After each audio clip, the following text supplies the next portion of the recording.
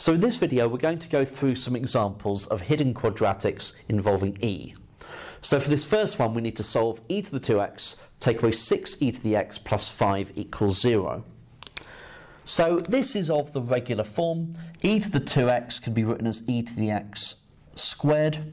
Then we've got take away 6e to the x plus 5 equals 0. So this can be factorised.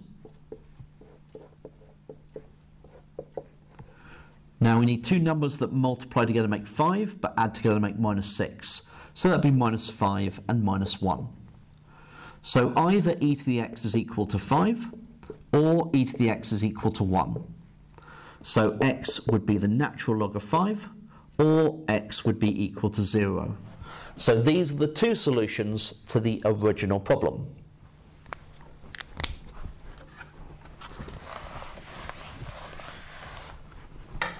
Okay, so number two. e to the 2x is equal to 2e to the x. Now, I'm going to do this in two different ways. The first way is what you might instinctively do, and that is to rearrange it first to get e to the 2x, take away 2e to the x is equal to 0. Now, e to the 2x is, of course, e to the x squared and now we'll factorise. So the left-hand side factorises to e to the x take away 2 times e to the x equals 0. So either e to the x is equal to 2 or e to the x is equal to 0. Now, for that equation, x would be the natural log of 2. This equation has no real solutions because e to the x does not cross the x-axis. Now, that's one way of doing it. Um, however, you could also, at the very start, you could have divided through by e to the x. Now, in general, dividing through by a function can be quite dangerous, especially if that function, well, mainly because if that function is zero, then you will lose a solution. But here, e to the x can never be 0. So dividing both sides by e to the x will not change it. I will not lose any solutions. So actually, if I divide both sides by e to the x, I would get e to the x on the left-hand side, and on the right-hand side, I would just get 2. And so e to the x equals 2, so x is the natural log of 2. And that would be the only solution. Okay, So that one you could do either way. I would recommend for that example though that you write down that e to the x can never be zero, okay, in order to allow that logical jump. Now for number three, we're going to have to rearrange that. Now I'm going to write the e to the 2x as e to the x all squared. We've got take away 3 e to the x, and I'm going to subtract 4 from both sides, so get everything onto one side. So now that can be factorised.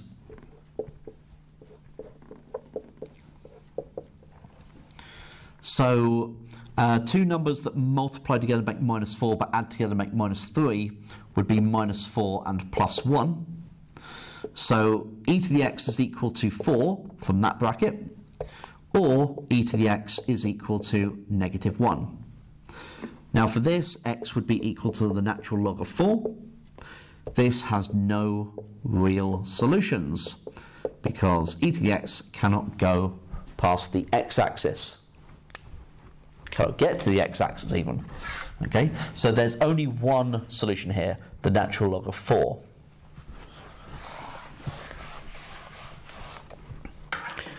Okay, number 4 then.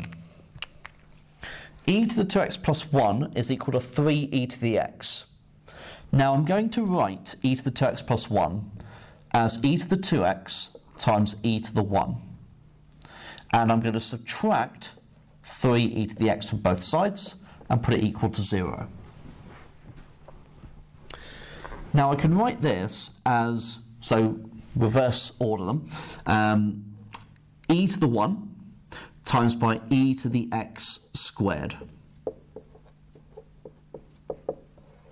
Okay, like that. Now this is a quadratic, but I just need a single bracket.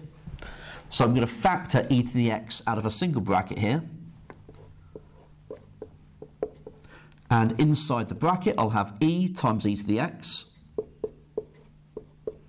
take away 3.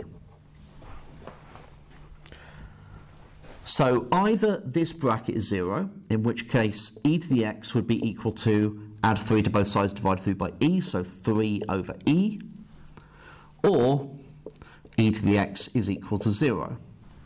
Now we know that has no real solutions. Okay, so at the start we could have divided through by e to the x, just like in number 2.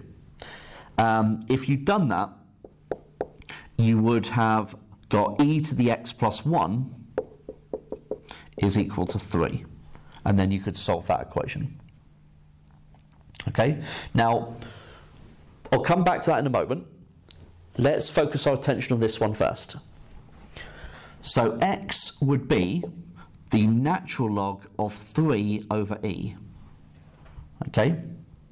Now, the solution to this must be, well, that solution there would have to be the solution to this equation as well, which would be, well, x plus 1 would be the natural log of 3, so x would be the natural log of 3 take away 1. Now, using your log laws, you can write that as the natural log of 3 take away the natural log of e, which is the natural log of 3 take away 1. And that's where you can see the two solutions are the same. Okay, so that's a good one to practice your log laws with. Okay. So, last one. 8e to the minus x plus 12e to the x take away 35 equals 0. Now, Remember that 8e to the minus x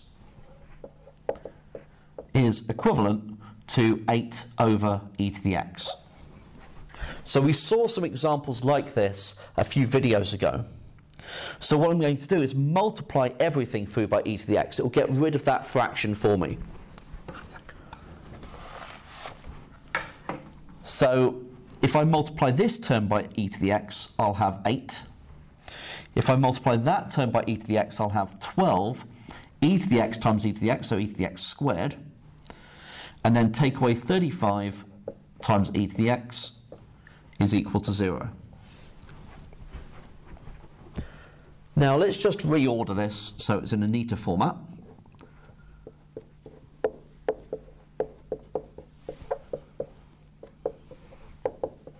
Okay, now what does this factorise to? So I'm going to use my calculator for that. So I'm going to go to menu and then the equation solver, so polynomial degree 2. So 12 minus 35 and 8. And we get 8 thirds and 1 quarter. So in here we would have three lots of e to the x, take away 8, and in here 4 e to the x take away 1. So solving this equation, I would get x is the natural log of 8 thirds. And solving this one, x is the natural log of 1 quarter. And they are the solutions to question number 5.